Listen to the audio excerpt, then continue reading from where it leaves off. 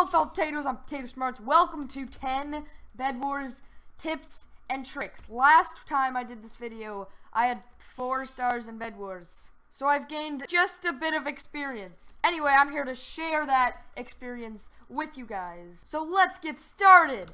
Also, if you find any of these tips helpful, be sure to leave a like on the video. It really helps. And I've been live streaming a lot lately, so if you don't have your notifications on, you've been missing the live streams, which kind of sucks. So make sure you turn your notifications on so you don't miss the next live stream. Anyway, let's get started. The first rule of Bed Wars is, is play 4v4.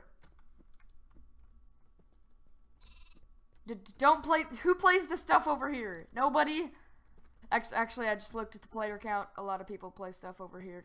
Just play fours. Fours is much better.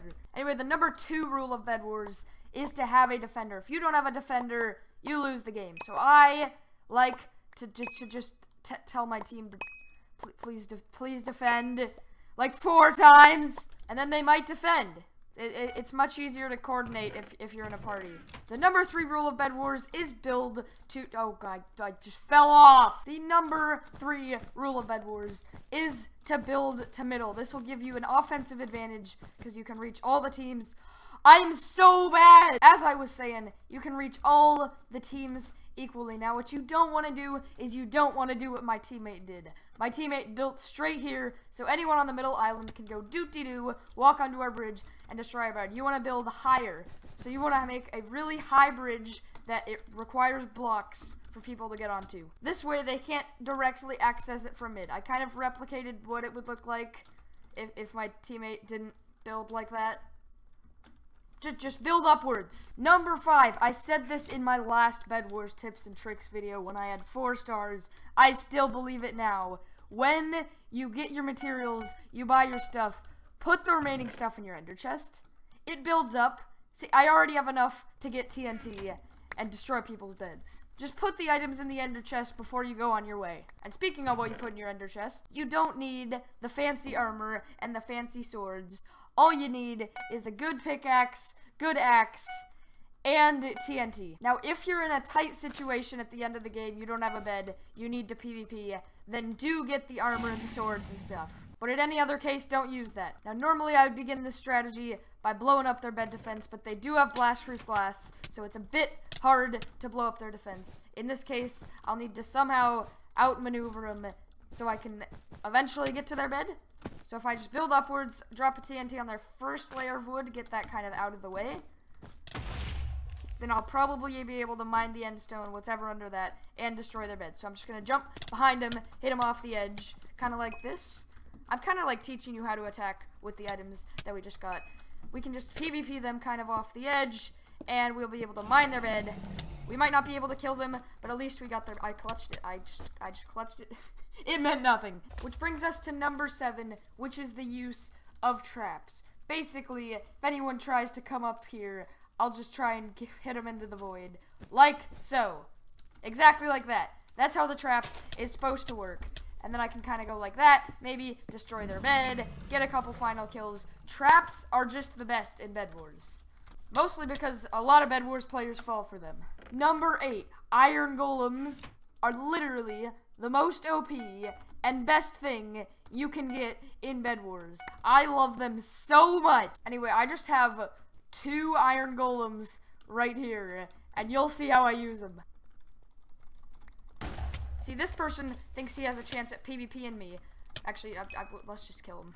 He he had no idea what was going on. Kill him, too.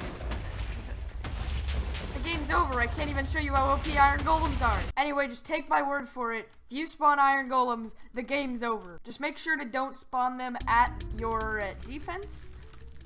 Because they despawn after a while, so you're kind of wasting iron if you just spawn them for no reason.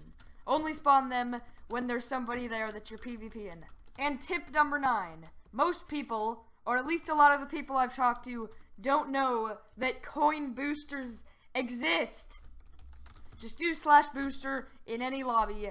You can just go to personal boosters, and you probably have a couple stacked up. At least if you have a rank. I'm not sure where you get these boosters, but I have four different personal boosters. I've used a lot of them. But basically, you just get two, three, four times coins for a set amount of hours.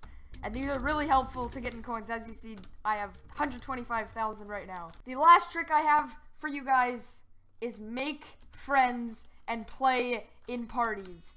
If you have a party full of 50 stars, they can't be beat. So find friends and form a party.